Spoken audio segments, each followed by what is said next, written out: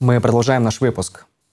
Тепличный комбинат «Солнышко» продолжает озеленять Наринмар. Так, например, в новом поселке студенты, которые трудоустроились на летний период, активно занимаются облагораживанием территории, где установлен мемориал в честь тружеников Печорского лесозавода.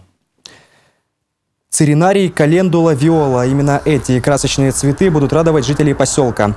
Несмотря на пасмурную погоду и холодный ветер, студенты ежедневно там высаживают цветы. Кстати, многие девушки, хоть и впервые осваивают подобное дело, получается у них не хуже, чем у профессиональных цветоводов. Студентки уверяют, озеленение родного Наринмара – дело благородное и в то же время очень интересное, за которое еще и платят. Девушки планируют потратить заработанные деньги на предстоящий отпуск.